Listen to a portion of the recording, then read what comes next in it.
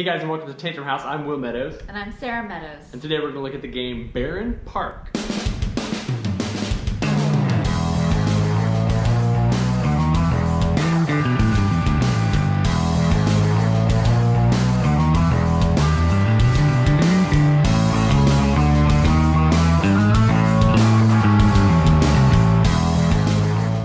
Is a two to four player tile placement game from Mayfair Games. In the game, players are trying to build their own bear habitat using some Tetris type tiles. Uh, the player to build the best combination of tiles and sca- score the most points will win the game. To start the game, every player will receive their own park area with an entrance, and then you will each be given a green area tile depending on the player order. On their turn, players get to place a tile, and whenever they place a tile, if they cover up an icon, they'll get to choose a new tile from that supply portion on the board. When you take your turn, you will first choose a tile to place on your board from your supply area. So you'll need to be strategic in making sure that you cover a, no, a new icon each turn so that you have something in your supply.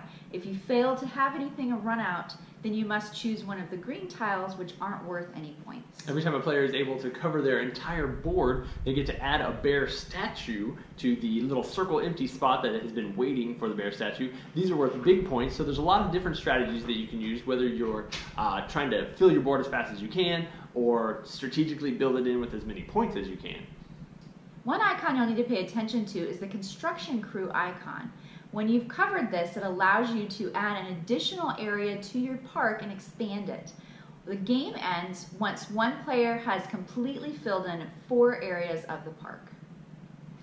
All right, so I think that covers the majority of the gameplay. Tell us what you think about the mechanic.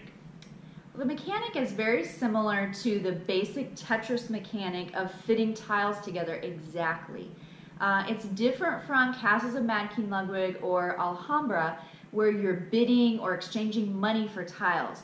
In Barenpark, you're simply filling an icon and then choosing from the supply.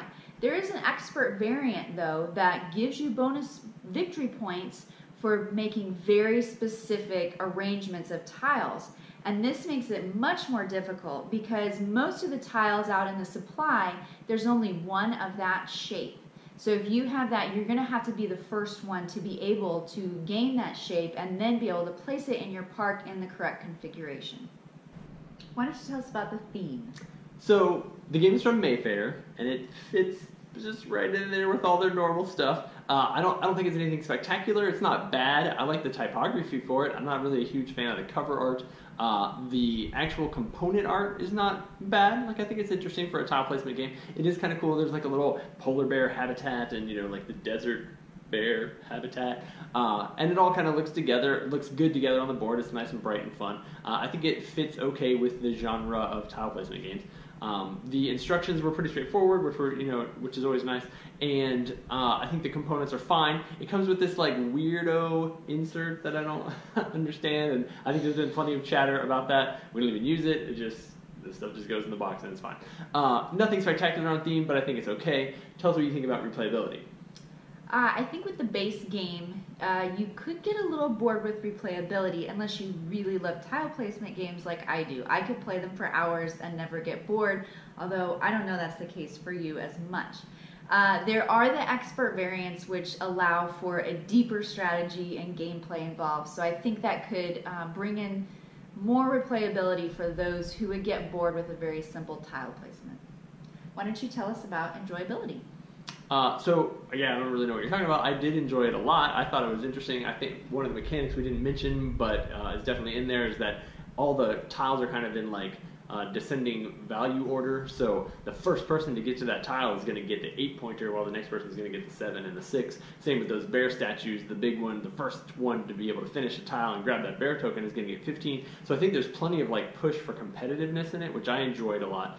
Um, you do kind of you know spread it on this table and you're putting tiles all over the place. So I think there's some like just enjoyment in selecting from the different pieces and putting it all out on the table. Um, yeah, I, I enjoyed it a lot. I think it's a, a solid game.